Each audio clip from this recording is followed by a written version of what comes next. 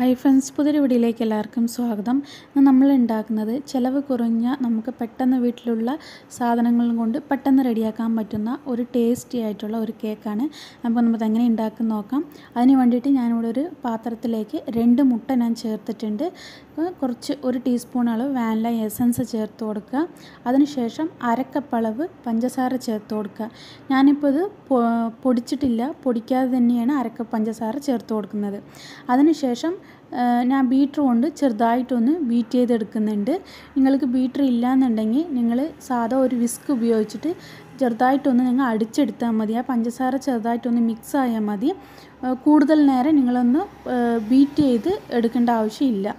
അതിനുശേഷം ഞാനൊന്ന് മിക്സ് ചെയ്ത ശേഷം ഇതിലേക്ക് കാൽ കപ്പ് അളവ് ഞാൻ ഓയിൽ ചേർക്കുന്നുണ്ട്. അതിനുശേഷം ഞാൻ ചുരകിയ തേങ്ങ അരക്കപ്പ് ഞാൻ ചേർക്കുന്നുണ്ട്. ഇനി ഇതിലേക്ക് ഒരു കപ്പ് അളവ് റവ വറുത്ത റവയാണ് ഞാൻ ചേർത്തിരിക്കുന്നത്.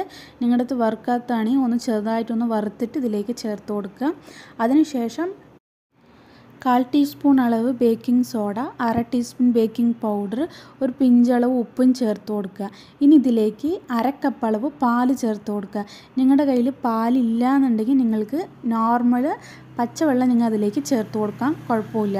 അപ്പോൾ വെള്ളം ചേർക്കുക അല്ലെന്നുണ്ടെങ്കിൽ പാൽ ചേർത്ത് കൊടുക്കുക. പാൽ ചേർക്കുമ്പോൾ ഇനിയും കുറച്ച് ടേസ്റ്റാണ് ഇല്ല നിങ്ങൾക്ക് പാലില്ല എന്നുണ്ടെങ്കിൽ നിങ്ങൾക്ക് വെള്ളം ചേർത്ത് കൊടുക്കാം കുഴപ്പമൊന്നുമില്ല.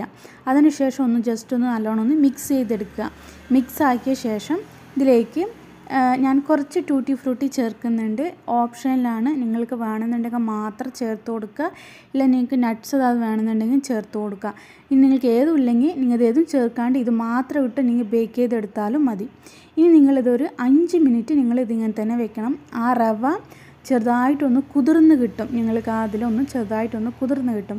അതിന് വേണ്ടിയിട്ട് ഒരു അഞ്ച് മിനിറ്റ് മാത്രം നിങ്ങൾ ഇതേപോലെ തന്നെ ഒന്ന് വെച്ച് റെസ്റ്റ് ചെയ്യാൻ വേണ്ടി ഇങ്ങനെ തന്നെ ഒന്ന് വെക്കുക. അഞ്ച് മിനിറ്റിന് ശേഷം ഞാനിവിടെ ഒരു കേക്ക് ടിൻ എടുത്തിട്ടുണ്ട്. അതിലേക്ക് ഞാൻ ബട്ടർ പേപ്പറെല്ലാം റെഡിയാക്കി വെച്ചതാണ്. അതിലേക്ക് ഞാൻ ഈ ബാറ്റർ അതിലേക്ക് ഒഴിച്ചു കൊടുക്കുന്നുണ്ട്. അപ്പോൾ നിങ്ങൾ ഒരു അഞ്ച് മിനിറ്റ് വെച്ച ശേഷം മാത്രം നിങ്ങൾ ഇതിലേക്ക് ഒഴിച്ചു കൊടുക്കുക. ഒഴിച്ചു കൊടുത്ത ശേഷം നിങ്ങൾ ഒന്ന് നല്ലോണം ഒന്ന് ടാപ്പ് ചെയ്ത് കൊടുക്കുക. അതിനുശേഷം ഇതിന്റെ മുകളിൽ ഞാൻ കുറച്ച് ടൂട്ടി ഫ്രൂട്ടിയും കൂടി ഞാൻ ചേർത്ത് കൊടുക്കുന്നുണ്ട്. അപ്പോൾ ഇതെല്ലാം ഓപ്ഷനിലാണ്. നിങ്ങൾക്ക് വേണമെന്നുണ്ടെങ്കിൽ മാത്രം നിങ്ങൾ ചേർത്ത് കൊടുക്കുക.